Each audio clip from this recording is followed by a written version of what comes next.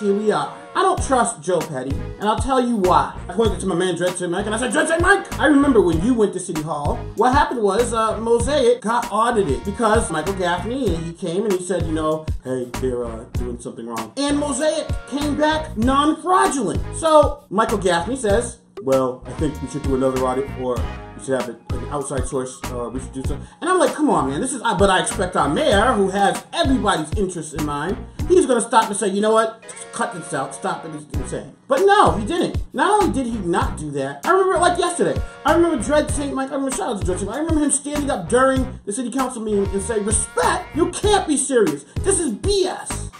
Hey, okay, throw him out. Throw him out. No, hey, stop. The second time you keep eating this nonsense. Okay, please leave the room. Please leave the room. You're a clown. You Hey. This whole case is caught. Bullshit. Hey, have a little respect, please. Respect. Yeah, please. Please. So, Council Gaffney.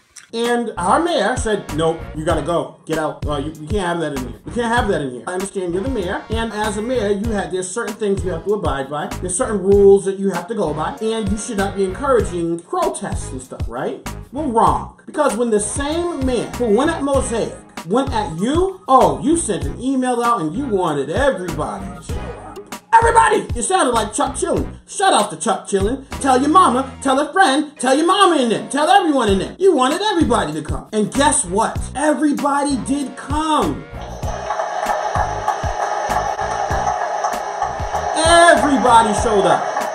I mean, it was standing room only outside of City Hall. It was barely standing room only. People came from all over Worcester, all over Massachusetts, not even just Worcester. They were coming from Northborough, Southborough, Northbridge, Southbridge. They coming from everywhere, everywhere. And they all came in front of City Hall, and they were chanting things. They were championing the fight for immigrants. They want to keep Muslims from being targeted just because of their religion. What Donald Trump proposed was scary to them. And you were standing out there, and you were happy, you were proud. You gave your little speech. Everybody, a couple other people gave their speeches. It was beautiful. Kumbaya. Michael Gaffney was somewhere inside, like, uh, I, I can't do I can't do a Cheers Worcester now, but I wish I could do a Cheers Worcester because I have to make myself a drink right now because this is this is looking you know really really bad. It's looking really bad for me. Like right now, people they're upset because it's looking really bad right now. Yeah, it was looking bad for you, Michael, Mr. City Council. It was looking bad for you. I said, oh, it's a wrap. Oh, Joe, you know with what he did last night, he just basically solidified himself as mayor this coming November. Who was going to beat that man? That man had over a thousand people in front of City Hall. What are we talking about? Who's going to go against him? Certainly not Michael Gaffney. And, and, one thing before I continue, if you are the people's counselor, why the hell were so many people there? Because they were mad at you?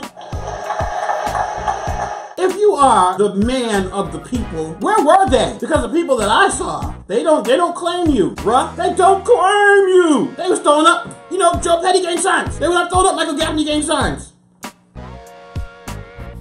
MG, none of them are doing that. In all seriousness, to, to let me, I gotta make sure I get this out too. To all seriousness, a lot of those organizers and a lot of those people who work tirelessly to make that a success, kudos to you. You did your thing. You promoted it. You reached out to people. You got other people involved. Black Lives Matter was involved. Shout out to Julius Jones. Uh, NAACP was involved, even though I didn't know there was NAACP in Worcester, but you were involved too. So I, I gotta give credit where credit was due. You guys did your thing last night. I give you props. Break some glass for the community organizers last night. You guys are the real MVP.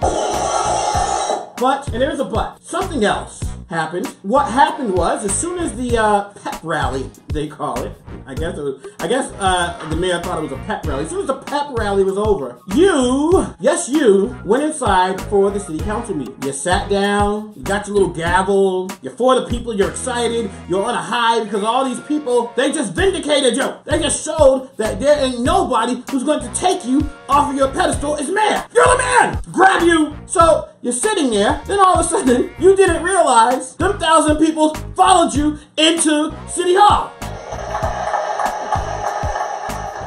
They followed your behind up in that piece, and my God, what the hell were you expecting? The city council had to still vote if they were going to go ahead with the resolution or if they weren't going to go with the resolution, if they were going to uh, uh, side with Michael Gaffney or if they were going to go against Michael Gaffney. Don't you think, did it, did it for once occur to you, uh, Mr. Petty, that these people may have wanted to see what was going to happen? Did it, did it maybe occur to you that a lot of these people who are standing out there protesting might have wanted to stand in front of Michael Gaffney and say, hey, listen, stop acting like Donald Trump. You're not Donald Trump. Your hair's real. Don't you think some people would have wanted to do that? But you didn't think about that. No, you were just in there, gavel ready, wanted law and order all of a sudden. You went from being a man to the people and quick as a flash, a man of the establishment. You did. So the people are, are in the, are in the hallways. They're they're stairs, just like it was outside, standing room only. Could have fit a thousand people in there, but they sure tried. You're sitting there and you're, my gosh, okay, we just did the rally. I'm tired. I just want to get this over with. I mean, I won. Look at Michael Gaffney over there. Look at him over there, looking all sad because they are they about to give him the business. He even made a comment to Michael Gaffney because Michael Gaffney did say you brought them here, and Joe Petty said I'm proud of it. So why, oh why, oh why did you have the nerve to call them stupid, to call them morons, and to call them uneducated? You got people freaking. Morons,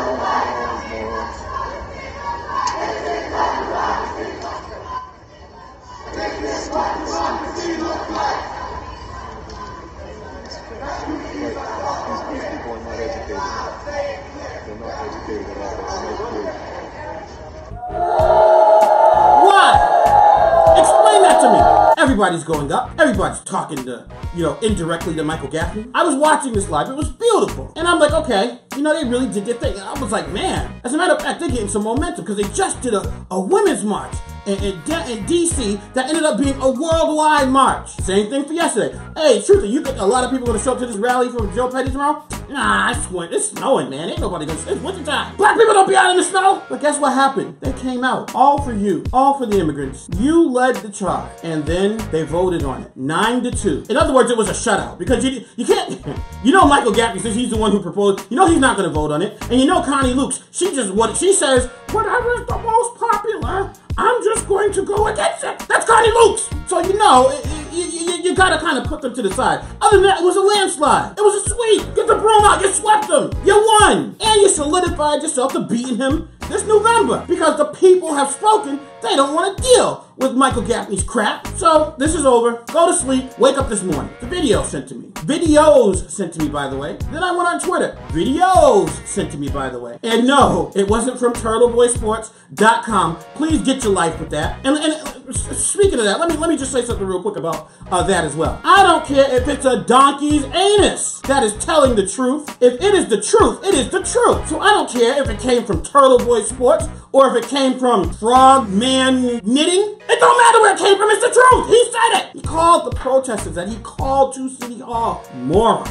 uneducated, idiots. He did that. Uh, miss me with the yo. We just need a couple minutes to. Uh, we just want to bask in the glory for a couple minutes, and you'll ruin it. Truth, it didn't ruin it.